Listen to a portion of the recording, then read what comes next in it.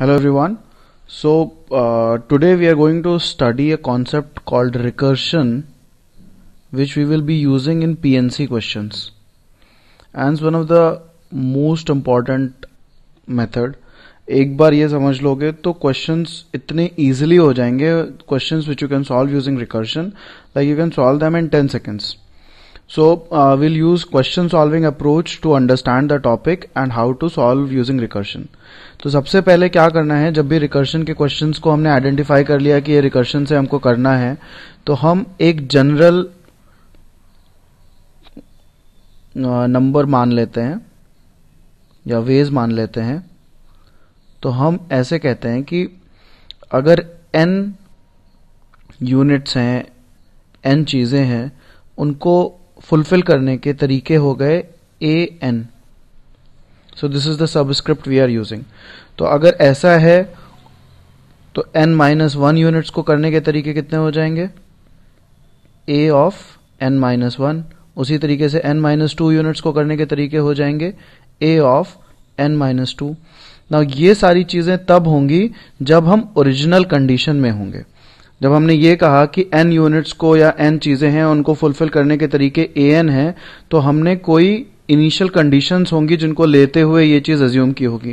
Now if we have N minus one units and these units are in the original condition so if the original condition is there then we can say that A N minus one ways होगा।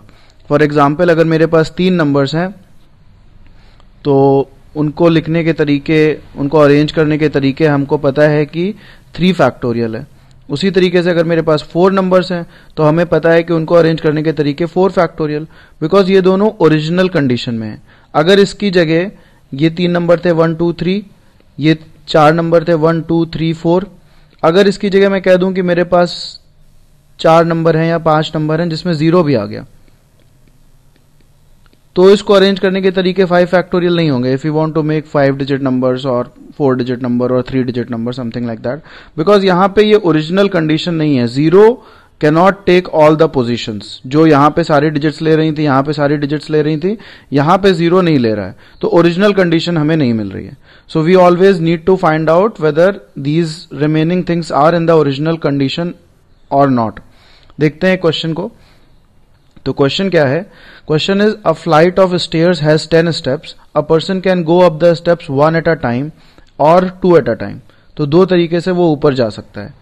और any combination of ones and twos the total number of ways in which the person can go up the stairs is let's see how easy it is if we apply recursion. तो हमने सबसे पहले मान लिया कि अगर N steps हैं N steps की सीढ़ी है या स्टेयर केस है तो उसको कवर करने के या उसको ट्रैवल करने के तरीके हैं A N where we can travel only one step at a time और two step at a time तो जो हमने अगर सबसे पहला स्टेप लिया, वो क्या हो सकता है? एक स्टेप का हो सकता है। तो अगर हमने एक स्टेप का स्टेप ले लिया तो कितने स्टेप्स बचे? N minus one steps now can you think ये दोनों ओरिजिनल कंडीशन में है, ये एन माइनस वन स्टेप्स की नहीं। इसके बाद हम फिर से वन स्टेप ले सकते हैं टू स्टेप ले सकते हैं, या कॉम्बिनेशन ऑफ़ वन और टू कुछ भी ले सकते हैं।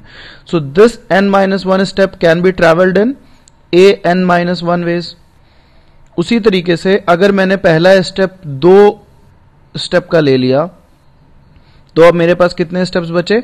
N minus two again can you say that these N minus two steps are in the original condition यहाँ पे हम फिर से पहला स्टेप वन ले सकते हैं टू ले सकते हैं, कोई भी कॉम्बिनेशन ले सकते हैं, कुछ भी कर सकते हैं। तो इसको फुलफिल करने के तरीके कितने होंगे? ए एन माइनस टू तो जो ये टोटल एन स्टेप्स थे, उनमें पहला स्टेप लेने के दो ही तरीके हो सकते हैं। या तो वन ले लो, या तो टू ले लो। तो वन लिया तो उसके बाद हमारे पास वेज बचे A N minus one two लिया तो हमारे पास कितने वेज हैं? ए एन माइनस टू तो क्या मैं ऐसे बोल सकता हूँ कि A N equals to A N minus one plus A N minus two because first step can be taken in only two ways और ये दोनों अब मेरा एक्सक्लूसिव हो गया एंड एग्जॉस्टिव हो गया। तो अब ये वन लेगा तो इतने तरीके से बाकी स्टेप्स कवर करेगा। अगर पहला स्टेप टू ले लिया तो इतने तरीके से करेगा। तो टोटल जो है वो A N minus one plus A N minus two यहाँ पर कौन सा केस लग रहा है? एंड प्रिंसिपल की और principle we have OR principle. So you can travel using this way or this way. तो हमने इनको ऐड कर लिया। अब हमको क्या निकालना है? ए वन यानी कि अगर एक स्टेप की सीढ़ी है तो कितने तरीके से कर सकते हैं? वन वेज अगर दो स्टेप की सीढ़ी है तो कितने तरीके से कर सकते हैं? वन वन कर सकते हैं या फिर सीधे टू कर सकते हैं। यानी कि टू वेज उसके बाद ए थ्री जब हमको निकालना है तो हमें पता है ए थ्री क्या होगा। A three is A three minus one यानी कि two plus A three minus two यानी कि वन तो पिछले दोनों को ऐड करते चले जाएँ। तो अब देखो कितनी तेज़ी से हो जाएगा। वन प्लस टू थ्री हो गया।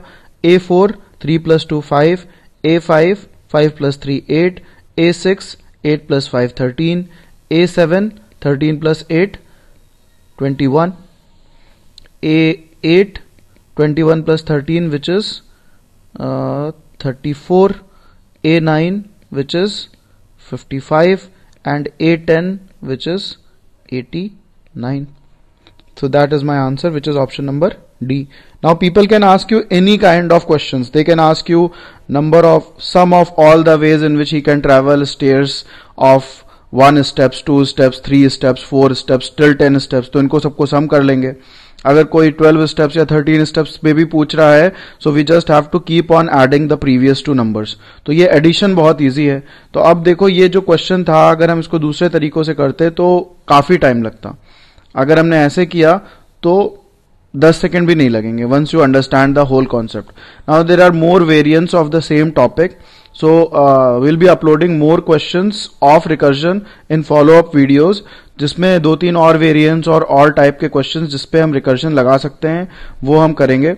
तो please after watching this video go and watch those videos as well तो रिकर्जन का कॉन्सेप्ट जो है पीएनसी में जैसे लगता है, वो क्रिस्टल क्लियर हो जाएगा। And it's very useful you'll find it find lot of question in which you can apply recursion directly okay guys if you like the content अगर अच्छा लग रहा है please comment and suggest us what topics you want us to create videos on and also please share like and subscribe to the channel अपने जितने भी दोस्त हैं जो कैट की तैयारी कर रहे हैं जो कैट प्रिपरेशन करने का या एमबीए प्रिपरेशन करने का या फिर कोई भी कॉम्पिटेटिव एग्जामिनेशन की तैयारी करने की आ, कोशिश करने वाले हैं या कर रहे हैं please share this these videos and channels with them thank you guys thank you so much